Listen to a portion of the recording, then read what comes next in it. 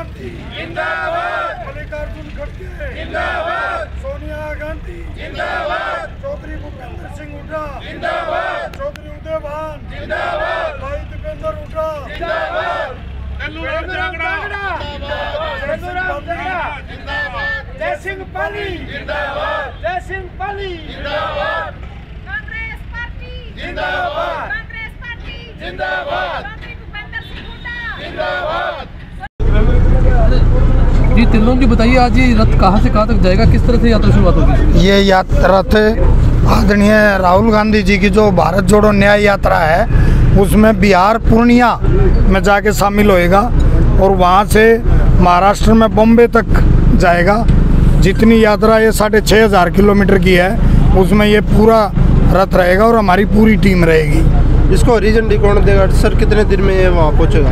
ये दीपेंद्र हुड्डा जी रोहतक से कल 11 बजे कांग्रेस भवन से आदरणीय दीपेंद्र हुड्डा जी हरी झंडी दिखा के रवाना करेंगे। कितने दिन में सर यहाँ ये बिहार पहुँचेगा? बिहार तो ये तीन दिन में पहुँच जाएगा। इस ट्रक के साथ आपकी और कितनी टीम जाएगी? हमारे पाँच आदमी आज जाएँगे पाँच रोज तक से जाएँगे और यूपी में आने के बाद हम बीस आदमी इसमें पूरी टीम में हो जाएँगे। कितने दिन ये उस भारत जोड़ो यात्रा में साथ ये दो महीने रहेगा। ये कब समाप्ति होगी जी भारत? समाप्ति बीस मार्च को है।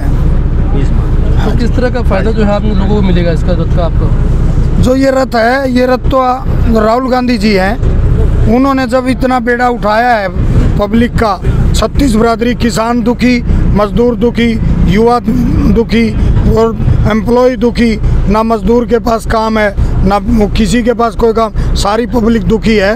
राहुल गांधी जी भारत जोड़ने और इस सत्ता परिवर्तन को सब करने के लिए आदरणीय राहुल गांधी जी साढ़े छः हज़ार किलोमीटर की यात्रा लेके चले हैं। तो आदरणीय हमारे अंकल जय सिंह पाली जी, मैं और अजमेर नायक जी और हमारे जो पुष्पा बैरागी जी हैं, वो महिला, उसमें कांग्रेस में ओबीसी की स्टेट वाइस प्रेसिडेंट है और हेमंत गुज्जर जी, जो हमारे हाथसी के हमने एक विचार आया कि हम भी राहुल गांधी जी के साथ वहाँ चलेंगे और हमने ये रथ तैयार किया और रथ तैयार करके इसमें हमारी पूरी टीम जाएगी।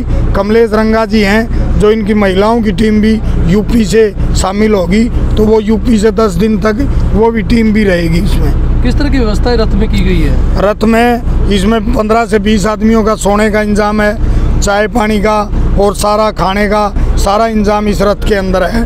और अलमारी अलमूरी कपड़े वगैरह लाइट मोबाइल चार्जर करने का सारा प्रबंध इसमें रथ के अंदर है।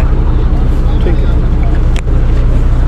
जी जय सिंह जी बताइए कि किस तरह का बदलाव जो है इस रथ यात्रा, यात्रा के बाद हरियाणा में देखने को मिलेगा? जैसे अपने पहले हमारे राहुल गांधी जी ने जो यात्रा की थी, उसमें भी काफ़ी बदलाव आया था। ये अहम बदलाव है, क्योंकि जैसे ही वहाँ शाम से आ रही है तो उस पर केस दर्ज करवाए जा रहे हैं। राहुल जी करें मुझे केसों से कोई फ़र्क नहीं पड़ता, पब्लिक मेरे साथ है।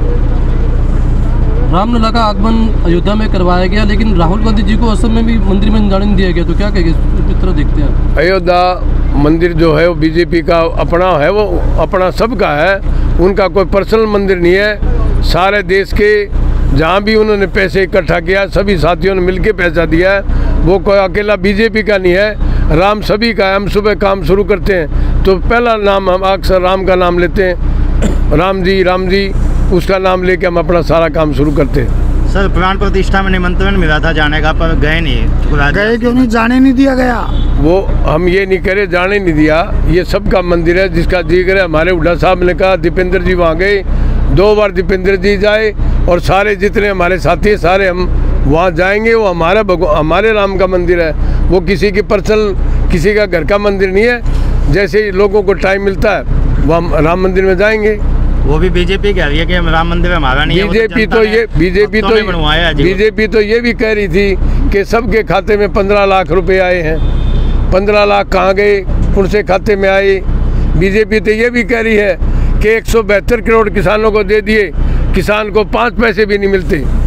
झूठा प्रचार करना बीजेपी की अपनी आदत बनी है। सूखे नारे से काम नहीं चलेगा काम करने पड़ेंगे। आज किसान दुखी है। किसान कितने दिनों तेरह महीने रोड पर रहे।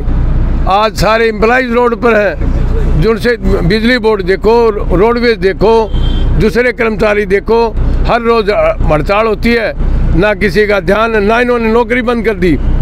ये जो सरकार है, ये झूठ बोल के कभी पंद्रह लाख रुपए भेजेंगे। राम मंदिर हमारा, राम मंदिर सबका है। राम मंदिर से कोई सरकारें नहीं बदलती, चढ़ती। इन्होंने को डैम लगाना चाहिए था को बिजली का प्लांट लगानी को पानी के लिए डैम बनानी को डैम बनाते। राम मंदिर तो हम सब पैसे दिए हमने पैसे दिए। जो भी आए पैसे सब आदमी देते हैं कोई ये थोड़ी बीजेपी वाले ने पैसे दिए हमने पैसे दिए बीजेपी खुद कहती है उसने तो पैसा दिया ही नहीं बीजेपी का बीजेपी ने तो पंद्रह लाख रुपए भी उठे थे वो कहाँ गए? आपके खाते में आए हैं? किसी के खाते में नहीं आए जो नहीं खाते में आए तो झूठ बोलते हैं। उनके जो आदमी गुजरात से गए हैं नौ नौ करोड़ नौ नौ हज़ार करोड़ रुपए लेके उन पर केस नहीं करते। उनका विरोधी है तो उसके ईडी भेज देते हैं। एक बात बताओ 108 फुट की जो धूप अगरबत्ती बनवाई थी, वो उनकी वीडियो देखी आपने? वो रोड पे सो रहे हैं, अगरबत्ती को जलाने नहीं दिया गया, वो कलेक्टर की परमिशन ले रहे हैं, वो वहाँ से परमिशन एमपी का लेटर ले रहे हैं तो भी अगरबत्ती नहीं लगाने दी गई। ये तो मनोपली है, और राम सबके हैं जब किसान खेत में हाड़ जोतता है, या हैरो चलाता है, बैठते ही ये कहता है, ले राम का नाम। बताओ कब नहीं? आज राम आज नहीं आए। राम तो जब से आए हैं, जब से ये पब्लिक पाँच हज़ार साल से। राम इस दुनिया से, राम से ही संसार चलता है। ऐसी बात नहीं है। राजीव गांधी जी ने ताला खुलवाया था इस मंदिर का।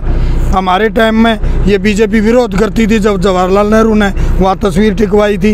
ये तो ऐसा नहीं है। लेकिन ये हम राम के हैं, राम हमारे हैं, हमारे दिलों में रहते हैं। आपके भी दिल में रहते हैं राम। आप भी सुबह उठ के अपने माँ बाप को राम का नाम कहते हो, राम राम। तो राम राम तो हम सबके दिलों में बसा हुआ है। ठीक है